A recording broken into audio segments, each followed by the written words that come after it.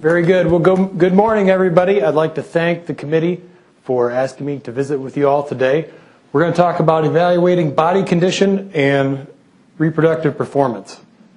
Um, swine extension specialist out of North Carolina State University, 70% extension, 30% research, focuses on genetics and production management. And I've been there for about three years now. About a small army of, of graduate students, four master students, and two PhD students. So in the coming years, they get one or two getting it finished uh, each year, if you need students that know pigs, know how to analyze data, and know a little something about genetics, we'd probably have some students for you. Here is a, a handful of the projects that we have going on. Uh, these are all funded partially or fully by either national or state checkoff. We have some pellet quality projects we've collaborated with Murphy Brown on, a couple of those.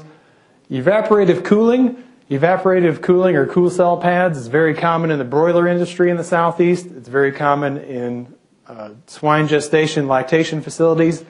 It's not common in swine finishing facilities. So we have a collaboration with Pork, pork Board and uh, Murphy Brown looking at looking at the economics of putting cool cell pads in finishing units.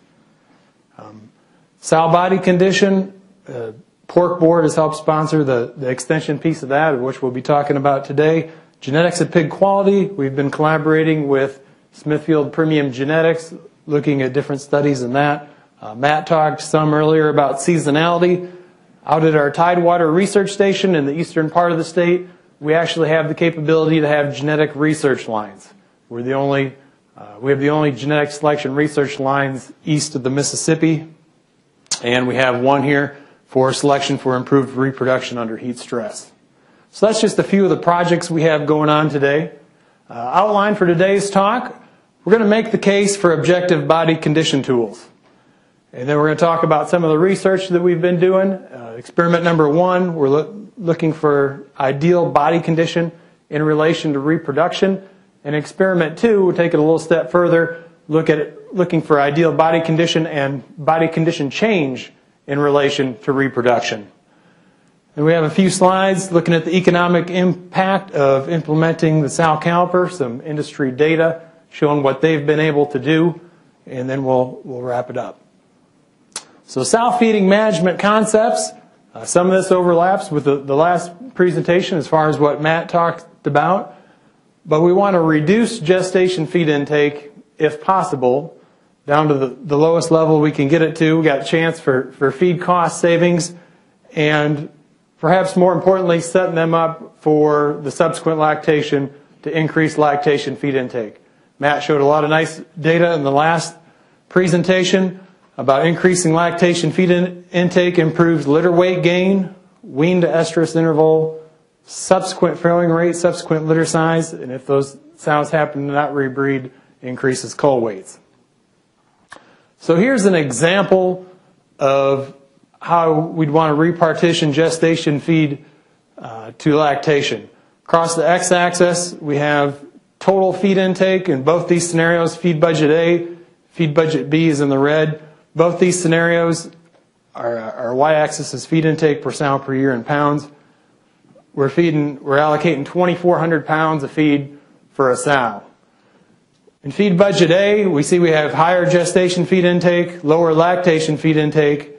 Feed, in the feed budget B, we have reduced gestation feed intake, so we're taking those sows into farrowing thinner, uh, allocating more feed during the lactation phase, and we're going to see superior reproductive performance or throughput we expect in feed budget B. So basically, we may not be reducing gestation feed intake or overall feed intake that much, but we're taking feed out of gestation and we're going to try to give that to them during lactation to increase our reproductive throughput. Feeding based on visual body condition. Is anybody in here managing herds that is not using visual body condition? What, what are you guys using? Hands, so visual body condition. So is anybody not using, what are you guys using? The ultrasound and the weigh tapes. Okay. So essentially, most people are visual body condition scoring right now. So pros, it's relatively inexpensive. You don't have to buy a tool. But there are several cons. It requires continuous training, farm to farm variation, as we'll see in the up- upcoming slides here. You can get large farm to farm variation within the same system. And potential for reduced profitability. If you guys, if you have all your farms standardized, but you're feeding too much, you're going to have high feed costs and some other negative impacts we'll see here in the next coming slides.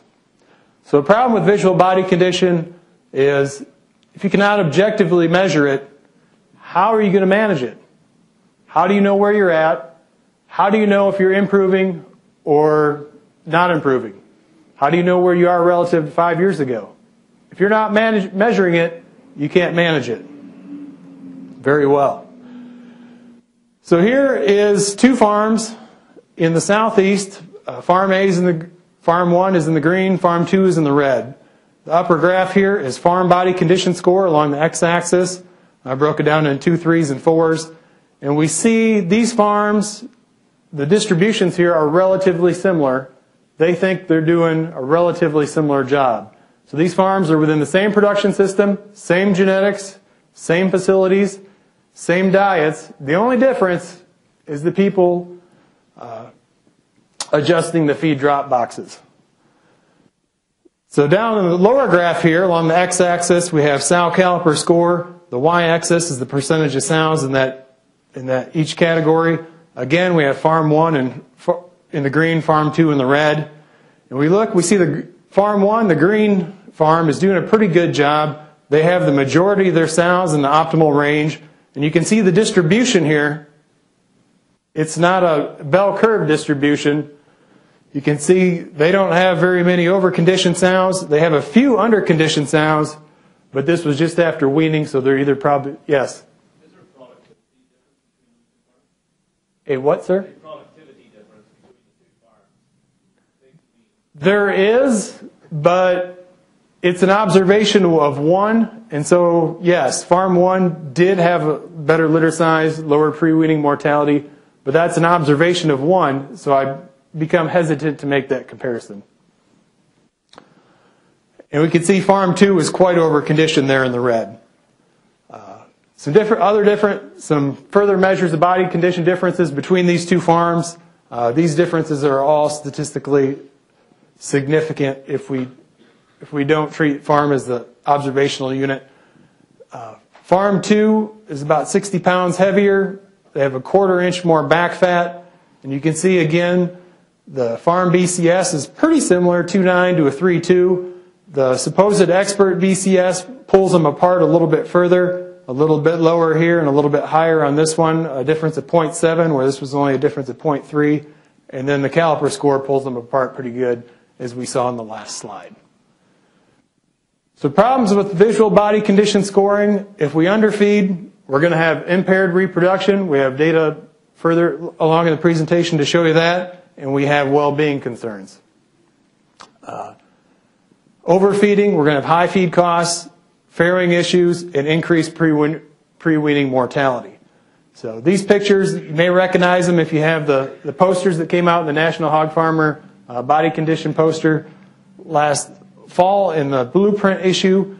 So we went and shot these sows in the Midwest last year and 90% of the sows on the farm looked like this girl right here. Had trouble finding, finding these sows in a, in a herd of 1,600 sows. So that's a, an example of a farm that, that needs some body condition management help pretty bad.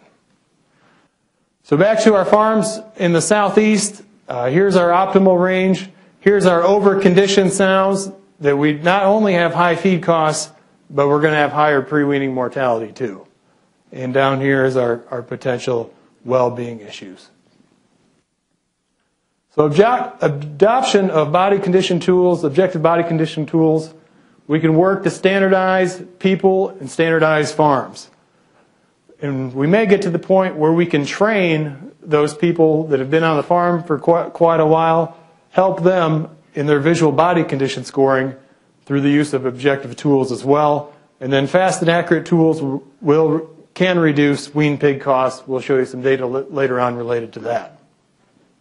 So experiment one, define ideal body condition in relation to reproductive performance.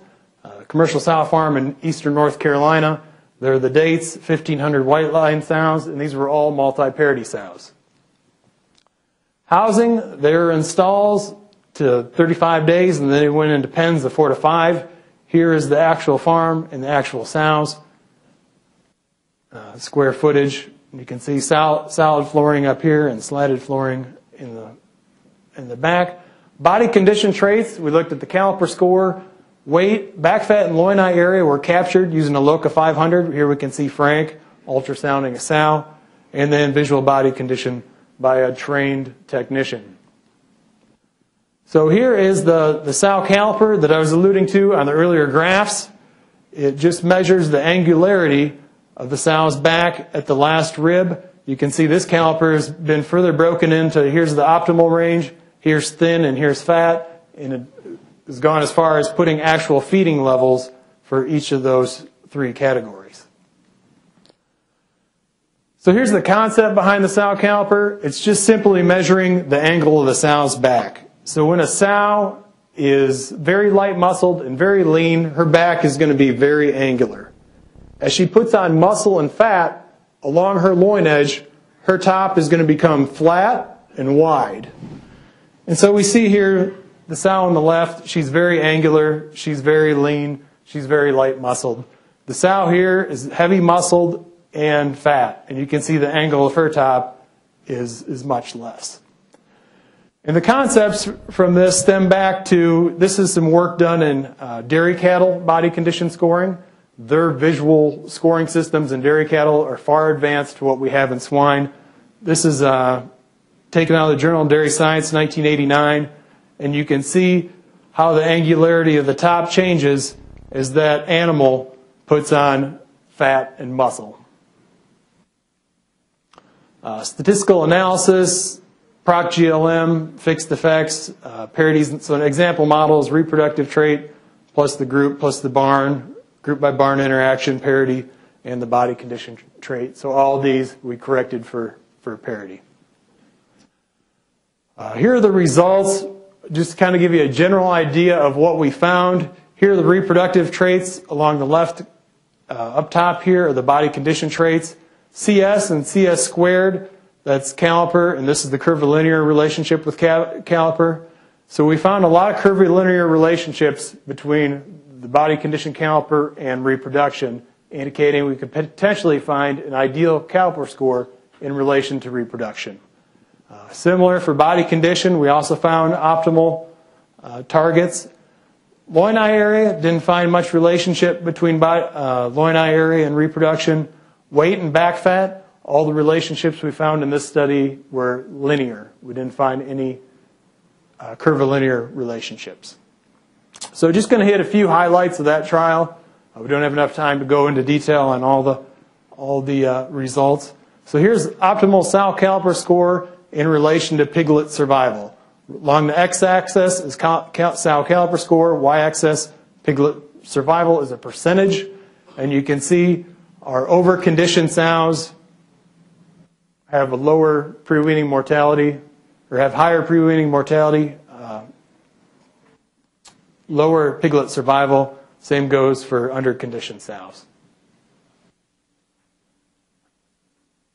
Lighter weight sows had greater piglet survival. So this is sow weight back at breeding, and this is subsequent performance in piglet survival. Uh, so along the x-axis is sow weight at breeding, y-axis piglet survival. Uh, this relationship was linear. So bigger sows have higher pre-weaning mortality. And in this model, parity was not significant. So what this is basic, and we've seen this in other data sets too, and generally this is relatively new information because often weight is not captured, uh, sow weight in a lot of these studies. So parity was pretty much impacting how many pigs that sow farrowed but once the pigs were cross-fostered, weight, sow weight, was driving the piglet survival or pre-weaning mortality. And then we put it all together, optimal sow caliper score for reproductive throughput, x-axis sow caliper score, y-axis pigs weaned per sow per year, and we can see a caliper score of around 14 or 15 was maximizing pigs per sow per year. Pigs weaned per sow per year. Experiment two, uh, define ideal body condition change in relation to reproductive performance. Again, commercial uh, collaborator in eastern North Carolina. Uh, the data here was actually collected by the, the farm personnel as far as uh, we had the first study going on. This other system found out that we were doing the study and they wanted their own study. And so I designed the experiment, they collected the data, and then I analyzed it for them.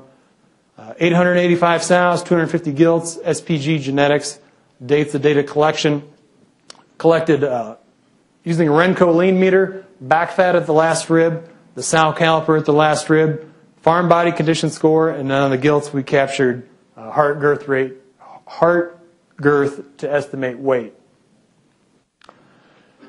Here are the traits we were able to, to come up with then for back fat, body condition, caliper, and weight. So we collect, collected these traits at breeding, at day 35 gestation, and day 105 gestation day 105 of gestation.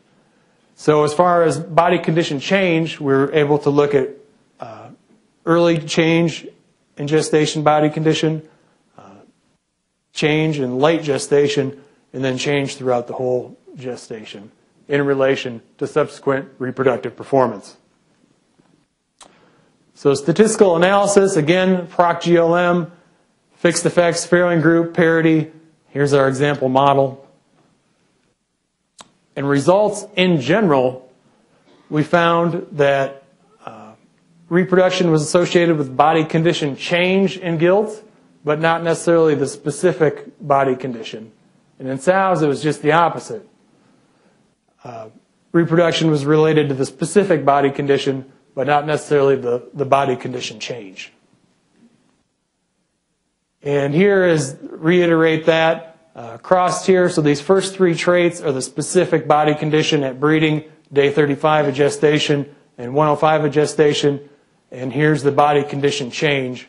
And you can see uh, highlighted in yellow are the significant reproductive traits that were associated. So in the gilts, the body condition change was related to reproduction, but not actual body condition.